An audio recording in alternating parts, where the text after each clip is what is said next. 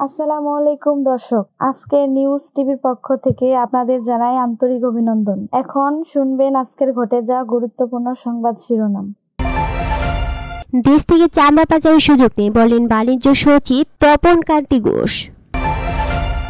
শেখ হাসিনা আত্মবিশ্বাস হারিয়ে ফেলেছেন, বলেন বিএনপির মহাসচিব মির্জা ফখরুল ইসলাম আলমগীর। সরকারের সঙ্গে জামায়াতের সখ্য তৈরি হয়েছে, বিএনপি মহাসচিবের এই বক্তব্যের ব্যাখ্যা চেয়েছে জামায়াত। যশোরে গৃহবধূর মরদেহ উদ্ধার স্বামী সহ শ্বশুর ও শাশুড়ি আটক। সন্ধ্যার মধ্যে বিশ জেলায় বজ্রসহ বৃষ্টির সম্ভাবনা।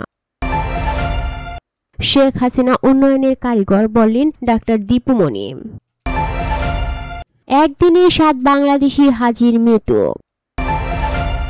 সহিংসতায় রণক্ষেত্র, ফ্রান্স শান্তির ডাক এমবাপ্পের। আসামের বন্যা পরিস্থিতির আরও অবনতির শঙ্কা হতে পারে ভারী বৃষ্টিপাত। এতক্ষণ শুনছিলেন সংবাদ শিরোনাম, এবার বিস্তারিত। ঈদুল আজহার পশুর চামড়ার অতিরিক্ত সরবরাহ থাকলেও দেশ থেকে অবৈধভাবে পাচার হওয়ার সুযোগ নেই বলে জানিয়েছেন বাণিজ্য মন্ত্রণালয়ের সিনিয়র সচিব তপন কান্তি ঘোষ। ফরিদপুর জেলায় কোরবানির চামড়ার সুষ্ঠু ব্যবস্থাপনা ও মনিটরিং কার্যক্রম পরিচালনা এবং নিত্য প্রয়োজনীয় পণ্যের বাজার মূল্য পরিদর্শন করার সময় সাংবাদিকদের এসব কথা জানান তিনি। দেশ থেকে অবৈধভাবে চামড়া পাচার হচ্ছে কিনা সাংবাদিকদের এমন প্রশ্নের উত্তরে তপন কান্তি ঘোষ বলেন বিএজিবি জেলা প্রশাসন সহ আইন শৃঙ্খলা বাহিনী সর্বোচ্চ সতর্ক অবস্থায় রয়েছে। চামড়া যেন কোনোভাবে পাচার না হয়, সেজন্য সরকারের পক্ষ থেকে সব ধরনের ব্যবস্থা নেওয়া হয়েছে।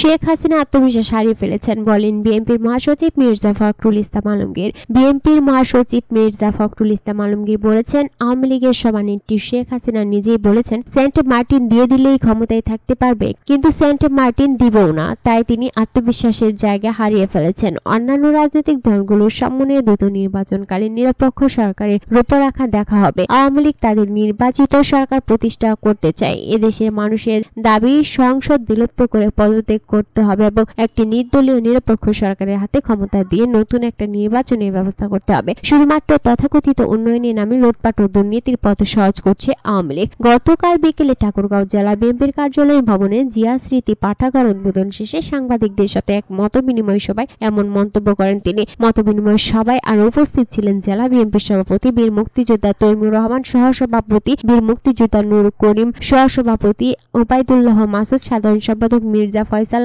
আমিন, সদর উপজেলার বিএনপি সভাপতি আব্দুল হামিদ সাধারণ সম্পাদক মাহবুব হোসেন তুহিন, জেলা বিএনপির দপ্তর সম্পাদক মামুনুর রশিদ, মামুন মহিলা দলের সভানেত্রী ফোরাতুন নাহার পেরিসের সহ অন্যান্য নেতারা। সরকারের সঙ্গে জামায়াতের সখ্য তৈরি হয়েছে। বিএনপি মহাসচিবের এই বক্তব্যের ব্যাখ্যা চেয়েছে জামায়াত। দলটির কেন্দ্রীয় প্রচার ও মিডিয়া সেক্রেটারি মতিউর রহমান আকন্দ এ মন্তব্য করেছেন। তিনি বলেন, মির্জা ফখরুল ইসলাম আলমগীরের এই বক্তব্য আমরা অত্যন্ত গুরুত্বের সঙ্গে নিয়েছি। আমরা এ বিষয়ে বিএনপির সঙ্গে যোগাযোগ করেছি এবং তারা আমাদেরকে আশ্বস্ত করেছেন যে এই বক্তব্যের ব্যাখ্যা তারা দিবেন। মতিউর রহমান আকন্দ বলেন বিএনপির মহাসচিবের কাছে এ বিষয়ে জানতে চাইলে তিনি বলেন, এটা মিডিয়া ব্যান্ড ইন টেনশন নিয়ে প্রকাশ করেছে। জামায়াতের এই মুখপাত্র আরও বলেন, আমরা যে মুহূর্তে সরকারের বিরুদ্ধে যোগপাত আন্দোলন করছি, ঠিক সেই সময় বিএনপির মহাসচিব এই বক্তব্যে আমাদেরকে বিভ্রান্ত করবে। তিনি বলেন, আমরা মহাসচিবকে বলেছি, যদি এটা ব্যান্ড ইনটেনশন নিয়ে হয়ে থাকে, তাহলে আপনি জাতির সামনে ক্লিয়ার করেন বিবৃতি দিয়ে। আমরা অপেক্ষা করছি আজকের মন্তব্যই বিএনপির পক্ষ থেকে প্রকাশ্যে এ বিষয়ে ব্যাখ্যা দেওয়া হবে। সরকারের সঙ্গে সত্যিকার অর্থে আপনাদের সক্ষতা হয়েছে কিনা এ বিষয়ে এক প্রশ্নের জবাবে আকন্দ বলেন, প্রশ্নই আসে না, কারণ আমাদের সঙ্গে আওয়ামী লীগের একটা বৈরতার সম্পর্ক।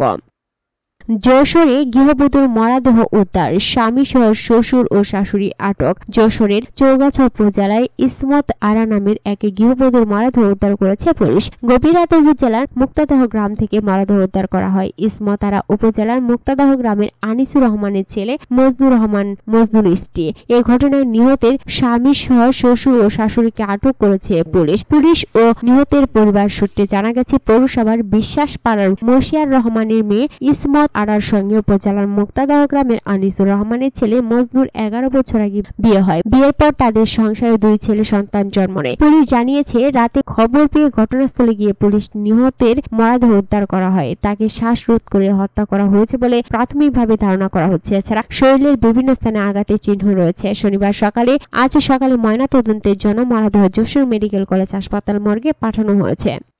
সন্ধ্যার মধ্যে বিশ জেলায় বজ্রসহ বৃষ্টির সম্ভাবনা। দেশের বিশ জেলায় সন্ধ্যার মধ্যে জ্বরের সঙ্গে বজ্রসহ বৃষ্টি হতে পারে বলে জানিয়েছে আবহাওয়া অধিদপ্তর। আজ সকাল নটা থেকে সন্ধ্যা ছটা পর্যন্ত দেশের অভ্যন্তরীণ নদীবন্দর সমূহের জন্য এ পূর্বাভাস দেওয়া হয়েছে। এতে বলা হয়, রংপুর, দিনাজপুর, রাজশাহী, বগুড়া, পাবনা, টাঙ্গাইল, ময়মনসিংহ, ঢাকা, ফরিদপুর, মাদারীপুর, কুষ্টিয়া, যশোর, খুলনা বরিশাল পটুয়াখালী নোয়াখালী, কুমিল্লা, চট্টগ্রাম, কক্সবাজার এবং সিলেট অঞ্চলের উপর দিয়ে দক্ষিণ অথবা দক্ষিণ পূর্ব থেকে ঘন্টায় পঁয়তাল্লিশ থেকে ষাট কিলোমিটার বেগে দমকা অথবা জড়ো হাওয়া সহ অস্থায়ীভাবে বৃষ্টি অথবা বজ্র সহ বৃষ্টি হতে পারে। এ অবস্থায় এসব এলাকার নদীবন্দর সমূহকে এক নম্বর সতর্ক সংকেতে দেখাতে বলা হয়েছে। শেখ হাসিনা উন্নয়নের কারিগর বললেন ডাক্তার দীপুমণি যে কোনো বিপর্যয় মোকাবেলা করার অপর নাম শেখ হাসিনা বলে মন্তব্য করেছেন শিক্ষামন্ত্রী ডাক্তার দীপুমণি তিনি বলেন, শেখ হাসিনা উন্নয়নের কারিগর। শেখ হাসিনার নেতৃত্বে আজ বাংলাদেশ সারা বিশ্বে স্বয়ংসম্পন্ন। নারী উন্নয়নে খাদ্য উৎপাদনে জলবায়ু পরিবর্তন সহ যে কোনো বিপর্যয় মোকাবেলা করার অপর নাম শেখ হাসিনা। রাতে চাঁদপুর শিল্পকলা একাডেমি মিলাতায়নে এক অনুষ্ঠানে প্রধান অতিথির বক্তব্যে তিনি এ মন্তব্য করেন। দীপুমণি বলেন, শেখ হাসিনা আজকে তার নিজের কাছে দিয়ে তার কাজের বিশালত্ব তার কাজের যে গভীরতা, তার কাজের যে বিশ্বময় এবং তা দিয়ে সুদূর প্রসারী প্রভাব ইতিহাসের উপর তা যে প্রভাব, তার সবকিছু মিলিয়ে আজকে শেখ হাসিনা আর বাংলাদেশ একাকার হয়ে গেছে। শেখ হাসিনার উন্নয়ন এক ও অভিন্ন হয়ে গেছে। একদিনে সাত বাংলাদেশি হাজির মৃত্যু। এবার হজ করতে গিয়ে ব্যাপক গরমের কবলে পড়েছেন হাজিরা, ফলে নানা সমস্যায় ভুগে অনেকের মৃত্যু হচ্ছে।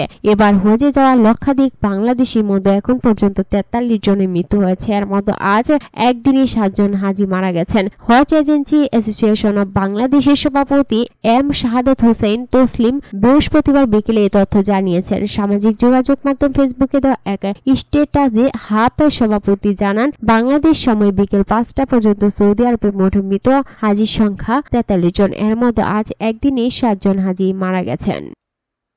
সহিংসতায় রণক্ষেত্র, ফ্রান্সের শান্তির ডাক এমবাপ্পের। ফ্রান্সের চলমান সহিংসতা বন্ধে এবার শান্তির ডাক দিয়েছেন ফুটবল তারকা কিলিয়ান এমবাপ্পে। গত মঙ্গলবার দেশটিতে পুলিশের গুলিতে নিহত হয় সতেরো বছর বয়সী নাহেল এম নামের এক কিশোর। এরপর থেকে পুরো ফ্রান্স জুড়ে সহিংসতা আরও দানা বাঁধে খেলোয়াড়দের পক্ষ থেকে নিজের ইনস্টাগ্রামের স্টোরিতে এমবাপ্পে লিখেছেন, সহিংসতা কোনো সমাধান হতে পারে না। এ সময় তিনি সামাজিক যোগাযোগ মাধ্যমে আরও লিখেছেন, ফ্রান্সের সব মানুষের মতো আরও কিশোর নাহেলের মৃত্যুতে স্তব্ধ। প্রথমত তার পরিবারের জন্য আমাদের সমবেদনা। অবশ্যই এই ধরনের অগ্রহণযোগ্য মৃত্যুতে আমরা সংবেদনশীল না হয়ে পারি না। এই ঘটনার পর আমরা জনসাধারণের ক্ষোভের প্রকাশ দেখতে পাচ্ছি।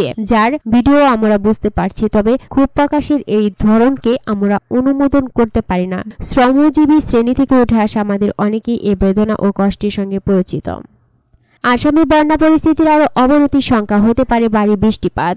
এখনও উন্নতি হয়নি ভারতের আসাম রাজ্যের বন্যা পরিস্থিতি। এর মাঝে আসন্ন সপ্তাহে ফের ভারী বৃষ্টিপাতের পূর্বাভাস দিয়েছে দেশটির আবহাওয়া দপ্তর। ফলে বন্যা পরিস্থিতির আরও অবনতি হওয়ার আশঙ্কা দেখা দিয়েছে।